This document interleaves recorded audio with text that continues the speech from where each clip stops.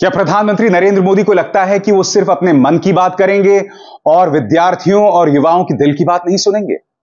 क्या प्रधानमंत्री नरेंद्र मोदी ने देश के युवाओं को सुनना बंद कर दिया है? क्या प्रधानमंत्री नरेंद्र मोदी को यह लगता है कि देश के युवाओं को फर्जी हिंदू मुस्लिम मुद्दों, लव जिहाद, हिंदू खतरे में है, इस तरह के मुद्दों में उलझा कर रखा जाए और नौकरी, बेरोजगारी, महँगाई की बात ही ना की जाए? क्या प्रधानमंत्री नरेंद्र मोदी है? यह कहा जाए, भारतीय जनता पार्टी युवाओं के मुद्दों से पूरी तरह से कट गई है। और क्या भारतीय जनता पार्टी को इस बात का अंदाज़ा है कि इस तरह से युवाओं के मुद्दों से कटने को लेकर देश को क्या नुकसान हो रहा है? वो नहीं चाहते कि तू खबर की तह तक पहुँच, क्योंकि खबरों की इन्हीं गहराइयों में छिपा है राजनीति का असली खेल। न्यूज़ चक्र खबर की गहराइयों को टटोलता।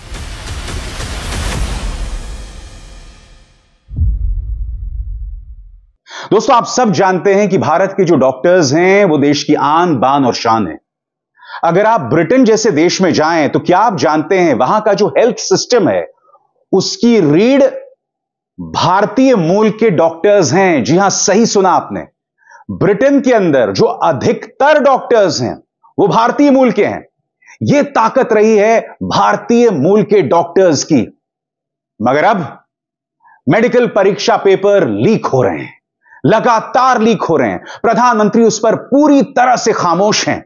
और यह तस्वीर यह संदेश पूरी दुनिया में जा रहा है कि किस तरह से भारतीय डॉक्टर्स का चयन करने वाली परीक्षाएँ जो हैं, उनकी विश्वसनीयता खत्म हो रही है। हाथ कंगन को आरसी क्या, दोस्तों, मैं आपको सुनाना चाहता हूँ कि सिंगापुर में नीट पेपर परीक्षा को लेकर जो लीक हुआ है, उसको लेकर चर्चा हो रही है। 25-30 सेकंड का क्लिप है सुनिए वर्ल्ड मीडिया में किस तरह से इस बड़े मुद्दे की चर्चा हो रही है और हमारे प्रधानमंत्री पूरी तरह से खामोश हैं सुनिए क्या हो रहा है Students are protesting in India after a reputed national entrance exam was scrapped just a day after 900,000 candidates sat for it. The UGC NET exam is mandatory for admissions in PhD programs and for securing jobs in teaching roles in government funded universities. Now, the education minister says the decision was taken after it became clear that the paper was leaked. जी हां दोस्तों प्रधानमंत्री पूरी तरह से खामोश हैं और हकीकत क्या है आपके सामने यूजीसी नेट कैंसिल हो गई सीबीआई जांच के आदेश दिए गए सीएसआर यूजीसी नेट स्थगित हो गया। नीट पीजी स्थगित हो गया। नीट अंडर ग्रेजुएट उसके सीबीआई जाँच के आदेश दे दिए गए और इसका क्या परिणाम हुआ? सिर्फ़ एनटीए के जो प्रमुख हैं, उन्हें हटा दिया गया है।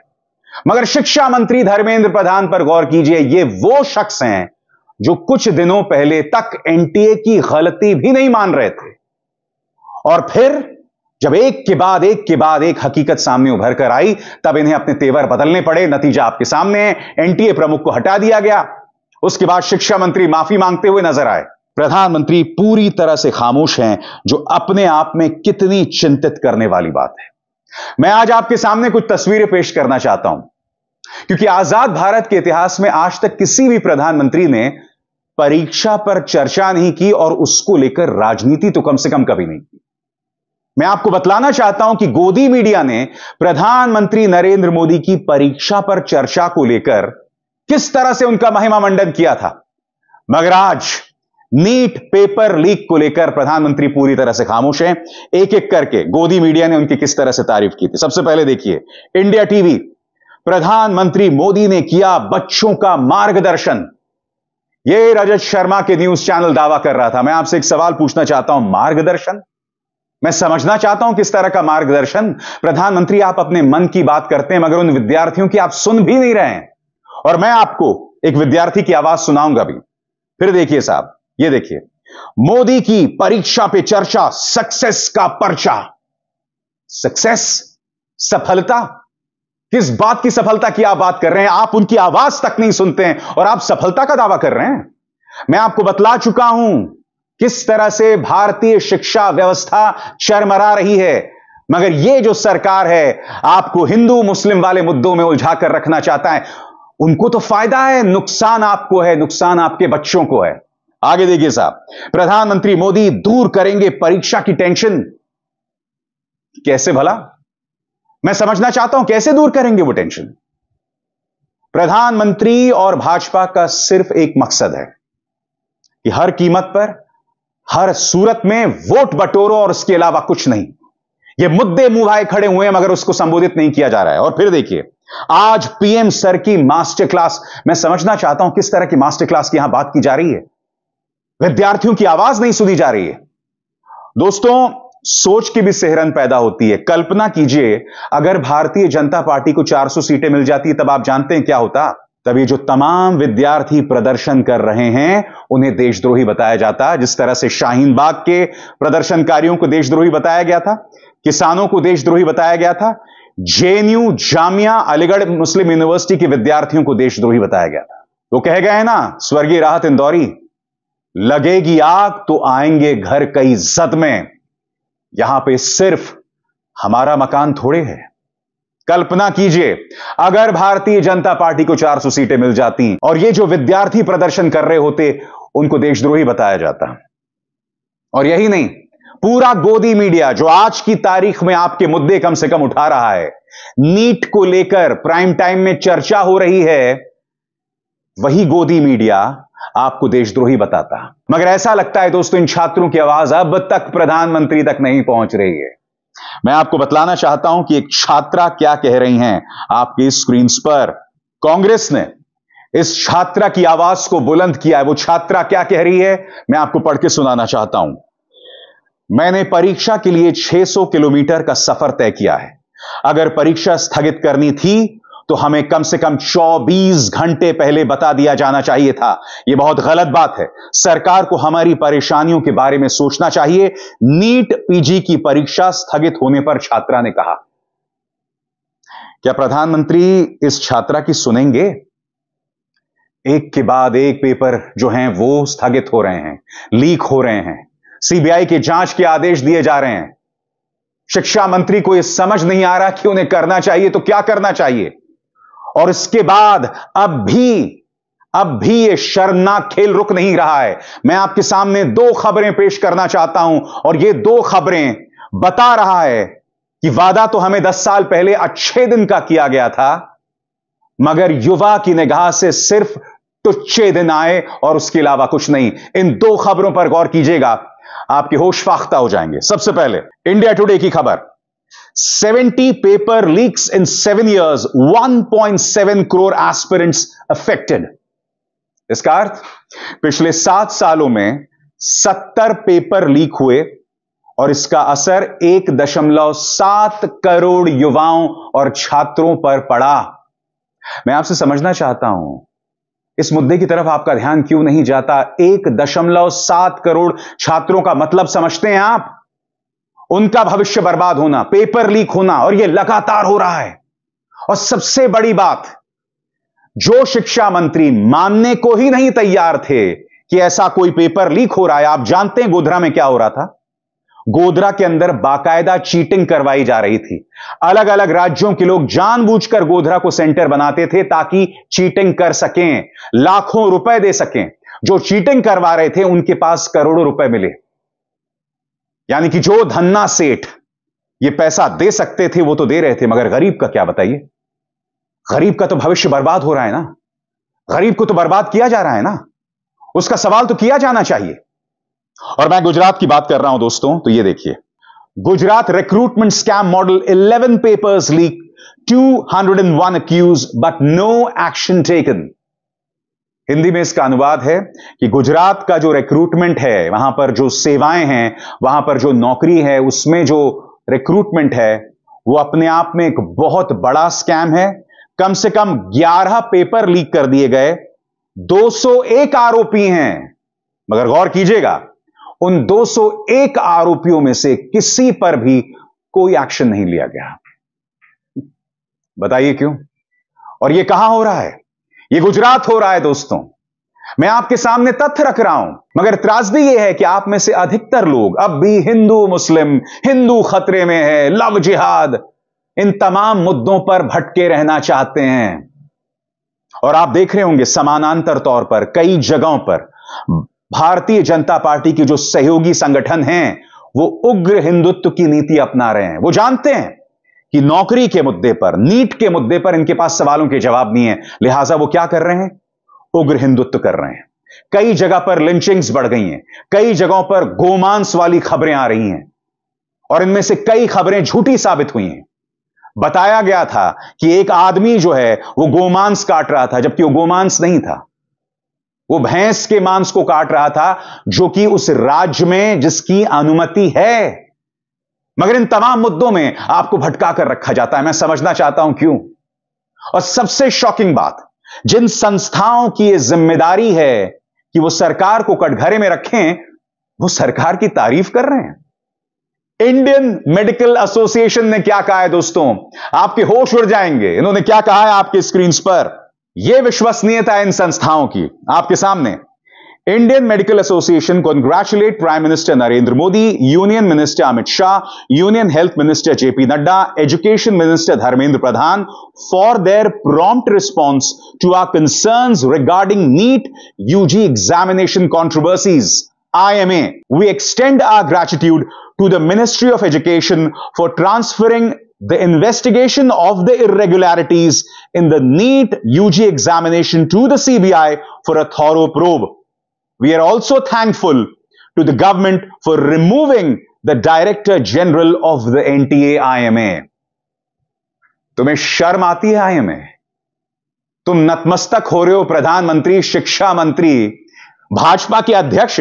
शॉकिंग बात यह है दोस्तों, यहाँ पर जेपी नड्डा का ज़िक्र किया जा रहा है। यूनियन हेल्थ मिनिस्टर का ज़िक्र किया जा रहा है। मैं आपसे सवाल पूछना चाहता हूँ दोस्तों, आखिर क्यों? आखिर क्या वजह है?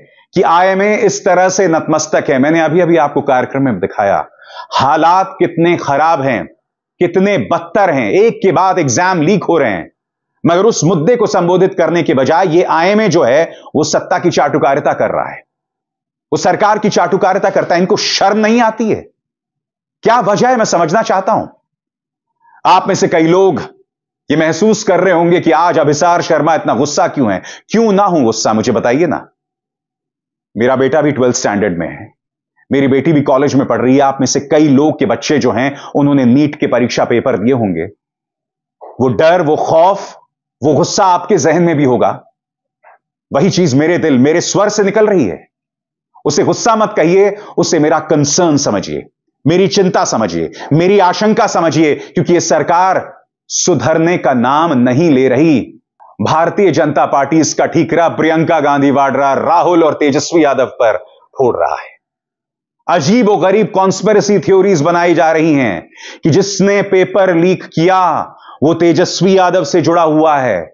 हालाँकि एक मास्टरमाइंड सम्राट चौधरी के साथ भी देखा गया था। उसके साथ भी उनकी तस्वीर है। सम्राट चौधरी इसे खारिज कर चुके हैं। मगर आज मैं एक सरल सा सवाल आपके सामने रखना चाहता हूँ। आप जानते हैं झज्जर हरियाणा में एक स्कूल है, हरदयाल पब्लिक स्कूल। इस हरदयाल पब्लिक स्कूल में से छह स्टूडेंट्स को नीट एग्ज़ाम में 720 अंक मिले फुल मार्क्स मिले, छह स्टूडेंट्स को।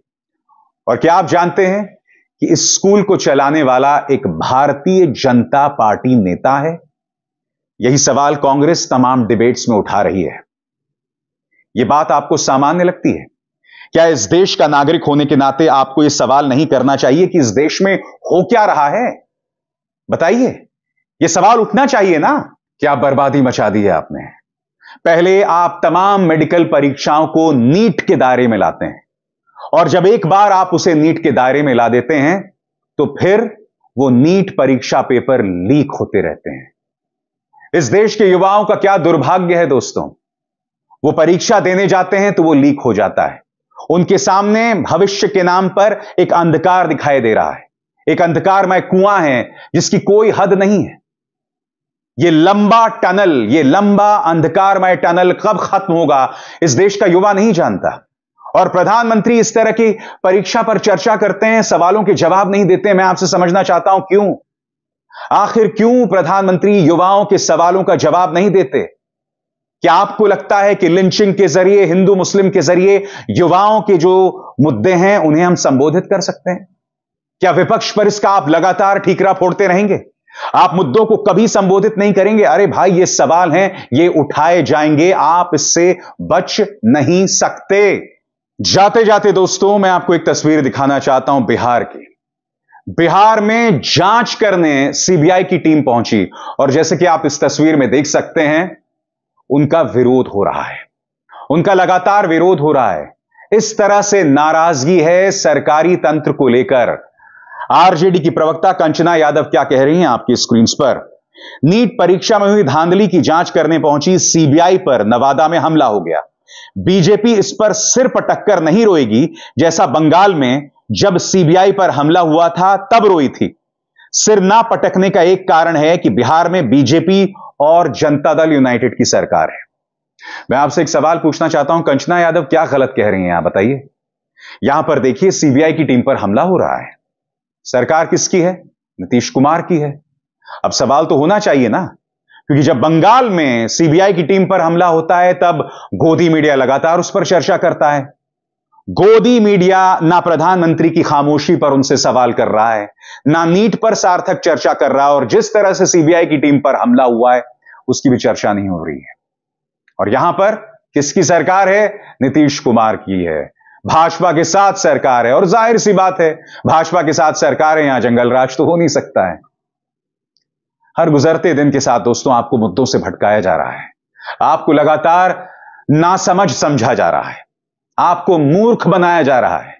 मगर हाँ, आप बेशक प्राइम टाइम का वो जहर देखकर अपने भविष्य को बर्बाद करते रहे, मगर आपके जो बच्चे हैं ना, वो जाग रहे हैं, वो समझ रहे हैं। क्योंकि उनकी प्राथमिकताएँ देश के मुद्दे हैं। उनकी प्राथमिकता है देश के लोकतंत्र को बचाना। क्योंकि अगर देश का लोकतंत्र बचेगा, तभी ये मुद्दे उठाए जा सकते हैं। क्योंकि अगर सोचिए दोस्तों, सोचिए, जिस तरह से न्यूज़ चैनल्स कह रहे थे कि भाजपा को 400 सीटें मिल रही हैं। अगर उन्हें मिल जाती तो आप सोचते हैं क्या होता? अगर उन्हें सीटें मिल जाती तो सड़कों पर आपके बच्चों को पीटा जाता, मारा जाता, जिस तरह से हमारी महिला पहलवानों को घसीटा गया था, जिस तरह से हमारे किसानों को मारा गया था। 700 किसान मर गए थे दोस्तों उस प्रदर्शन में। और आपकी आँखें नम तक नहीं हुई थी, क्योंकि आप यह सोच रहे थे कि हमारा क्या, हमसे क्या? हम पर थोड़ा कोई फ़र्क पड़ रहा है। आज आपके बच्चे प्रदर्शन कर रहे हैं, क्या अब भी आप पर कोई फ़र्क नहीं पड़ेगा? क्या अब भी यह सवाल बेमानी है जो लगातार मैं अपने मंच से उठाता हूँ? बताइए, ये सवाल उठेंगे, लगातार उठेंगे, क्योंकि इसका ताल्लुक मेरे बच्चों से, आपके बच्चों से। आप बेशक होपलेस केस हो गए हों, मगर मुझे परवाह अपने बच्चों की है, आपके बच्चों की है, इस देश के भविष्य की है। अभिसार शर्मा को दीजिए इजाज़त। नमस्कार।